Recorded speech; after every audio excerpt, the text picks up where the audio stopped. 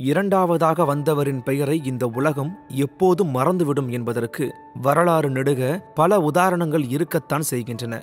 எவ்வளவு போராடியும் முதல் இடத்தை தவறவிட்டவர்களின் பெயர்களை இந்த உலகம் உச்சரிப்பதே இல்லை. இரண்டாவதாக வந்தபோதும் வரலாற்றில் இடம் பிடித்தவர்தான் மான்யா சிங். இதற்கு அவர் கடந்து வந்த பாதை எளிதானதாக இருக்கவில்லை. உலகில் சாதனை படைத்த யாரை கேட்டாலும் அவர்கள் கூறும் ஒரே பதில் சாதிப்பதற்கு இந்த உலகில் எதுவுமே தடையாக இருக்க முடியாது. சாதிப்பதற்கான வெறியும் விடாமுயற்சியும் இருந்தால் எந்த உயரத்தை யார் வேண்டுமானாலும் அடையலாம் என்பது மட்டுமே. யாராலும் செய்ய முடியாததை செய்வது ஒரு வகையான சாதனை என்றால் தன் லட்சியத்தை நோக்கி ஓடும்போது தடையாக இருக்கும் அனைத்தையும் உடைத்துவிட்டு சாதிப்பது இன்னொரு வகை. அப்படியான சாதனையாளர்கள் பட்டியல் இருக்கும் புத்தகத்தில் தனது பெயரையும் அழுந்த பதித்து இந்தியாவையே திரும்பி பார்க்க செய்துள்ளார் மான்யா சிங். யார் இந்த மான்யா சிங்? உத்தரப்பிரதேசத்தின் தேவரியா மாவட்டத்தைச் சேர்ந்த ஆட்டோ ஓட்டுநர் ஓம் பிரகாஷ் சிங்குக்கும் தையல் கடை நடத்தி வரும் மனோரமா தேவிக்கும் மகளாக பிறந்தவர்தான் மான்யா சிங். பகல் முழுவதும் உழைத்தால்தான் இரவில் சோறு என்பதுதான் குடும்பத்தின் சூழல். வறுமைதான் வாழ்க்கை என்ற நிலை காரணமாக இவரது குழந்தை பருவம் அவ்வளவு இனிமையானதாக இருக்கவில்லை.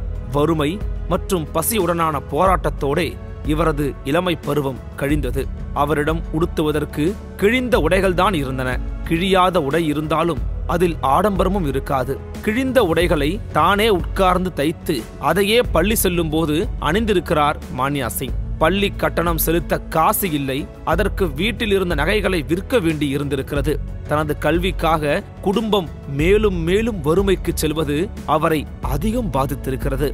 இதனால் தன் பதினான்காவது வயதில் குடும்ப கஷ்டத்தை பார்த்து அதை சகித்துக் கொள்ள முடியாமல் வீட்டை விட்டு வெளியேறியிருக்கிறார்.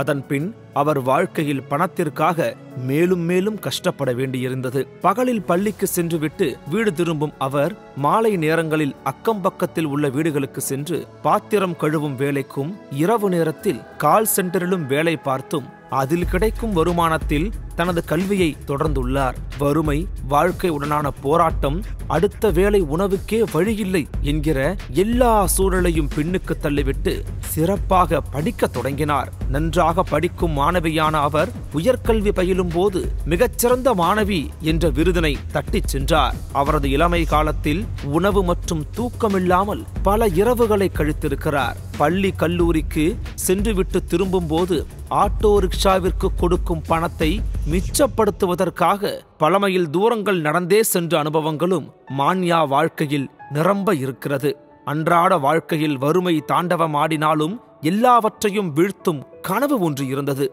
அதுதான் மிஸ் இந்தியா போட்டியில் பட்டம் வெல்வது. இதற்காக அவர் மேற்கொண்ட முயற்சிகள் அனைத்தும் தோல்வியிலேயே முடிந்தன. ஆனால் தோல்வியின் வெப்பம் அவரை நெருங்கக்கூட அவர் அனுமதிக்கவில்லை. அது மான்யாவை தொடர்ந்து இலக்கை நோக்கி முன்னேறு என்று சொல்லிக்கொண்டே இருந்தது. மிஸ் இந்தியா ஆவதே என் லட்சியம் என்று அவர் சொன்னபோது பலர் சிரித்தனர். அதையெல்லாம் நீ எண்ணிக்கூட பார்க்கக்கூடாது என்று கேலி செய்தனர். அழகி போட்டி என்பதெல்லாம் பணக்காரர்களுக்கும் வசதி படைத்தவர்களுக்குமானது. பணமில்லாதவர்கள் இதில் கலந்து கொள்வதே கடினம். இதில் வெல்வதெல்லாம் சாத்தியமே இல்லை என்று அவரது முயற்சியை முடக்க நினைத்தனர். ஆனால் அவர்களின் எந்த வார்த்தைகளையும் மான்யா காது கொடுத்து கூட கேட்கவில்லை. தன்னை கேலி செய்தவர்கள் தன்னை ஒரு நாள் பிரமித்து பார்க்க வேண்டும். எப்படியாவது மிஸ் இந்தியா பட்டத்தை வெல்ல வேண்டும் என்பதில் மட்டும் உறுதியோடு இருந்தார். அவரது தாய் தந்தை ஆகியோர் மகளின் லட்சியத்திற்கு குறுக்காக நிற்கவில்லை. தொடர்ந்து அவரை ஊக்கப்படுத்தினர். அவரது லட்சியத்திற்காக தங்களால் இயன்றவரை உதவி செய்தனர். நீண்ட நெடிய போராட்டத்தின் பலனாக ஃபெமினா மிஸ் இந்தியா இரண்டாயிரத்து இருபது அழகி போட்டியில் பங்கேற்கும் வாய்ப்பு கிடைத்தது. இதில் வெற்றி பெறுபவர்களுக்கு இரண்டாயிரத்து இருபத்தி ஓராம் ஆண்டு நடைபெறும் மிஸ் யூனிவர்ஸ் போட்டியில் பங்கேற்கும் வாய்ப்பு கிடைக்கும் என்பதால் அளவு கடந்த மகிழ்ச்சியில் அப்போட்டிகளில் பங்கேற்றார். ஃபெமினா மிஸ் இரண்டாயிரத்து இருபது போட்டியின் இறுதிச் சுற்று போட்டிகள் கடந்த பிப்ரவரி மாதம் பத்தாம் தேதி மும்பை மாநகரத்தில் நடைபெற்றது. மிஸ் இந்தியா இரண்டாயிரத்தி இருபது மகுடத்தை ஹைதராபாத்தைச் சேர்ந்த இருபத்தி மூன்று வயது மன்சா வாரணாசி தட்டிச் சென்றார். இரண்டாவது இடத்துக்கு மான்யா சிங் தேர்வு செய்யப்பட்டார். மிஸ் இந்தியா இரண்டாயிரத்தி இருபது போட்டியில் இரண்டாம் இடம் பிடித்த பின்னர் அவரை அதுவரை கேலி மட்டுமே செய்து வந்த பலரும் பாராட்டினர். ஏழைகளால் அழகி போட்டியில் வெல்ல முடியாது என ஏளனம் செய்தவர்கள் வாயடைத்து போனார்கள்.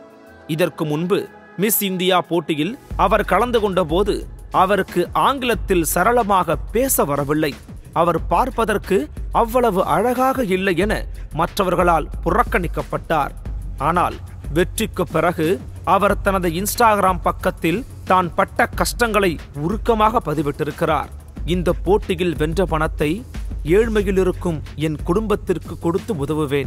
என் வாழ்க்கையை மாடலிங் துறையில் மேற்கொண்டு தொடர விரும்புகிறேன். ஆனால் எனக்கு எதுவுமே எளிதாக கிடைக்கவில்லை. அதற்காக நான் மிகவும் கஷ்டப்பட வேண்டியிருந்தது. கேலி கிண்டல்களை சந்திக்க வேண்டியிருந்தது. என் பெற்றோர் நான் மகனாக பிறந்திருந்தால் நன்றாக இருந்திருக்கும் என ஒருபோதும் நினைத்துவிடக் கூடாது என்பதில் மட்டும் நான் உறுதியாக இருந்தேன். மூத்த மகளாக பிறந்ததால் குடும்ப பொறுப்புகளை நானே சுமந்து கொண்டேன். என் குடும்பத்தின் ஏழ்மை என் லட்சியத்தை ஒருபோதும் பாதிக்கவில்லை. எப்போதெல்லாம் நான் விழுந்தேனோ அப்போதெல்லாம் மீண்டும் மீண்டும் எழுந்தேன். மற்றவர்களின் கேலி பேச்சுகளை நான் ஒருபோதும் காதில் வாங்கிக் கொள்ளவே இல்லை. என்னால் சாதிக்க முடியும் என்பதை உறுதியாக நம்பினேன். இதற்காக நான் போட்ட உழைப்பையெல்லாம் என்னுடையதுதான். என்னை கேலி கிண்டல் செய்தார்களே அவர்களது உழைப்பு இல்லை. ஆகவே என் வெற்றியே அவர்களுக்கு பதிலாக இருக்கும் என்று நம்பினேன். இன்று மிஸ் இந்தியா மேடையில் இரண்டாவது இடம் பிடித்து நின்று கொண்டிருக்கிறேன் என்று பதிவிட்டிருக்கிறார். அவர் மிஸ் இந்தியா பட்டத்தை வெல்லவில்லை. ஆனால் இன்று கோடிக்கணக்கான மக்களின் இதயங்களை வென்றிருக்கிறார். முயற்சி செய்தால் எதுவும் யாருக்கும் கிடைக்கும் என்பதை மீண்டும் அழுத்தம் திருத்தமாக உணர்த்தி இருக்கிறார் மான்யா சிங். சாதனைக்கு வறுமை ஒருபோதும் தடையாக இருக்க முடியாது என்பதற்கு சாட்சியாக நம்முன் இருக்கிறார் நிற்கிறார் இந்த மான்யா சிங்.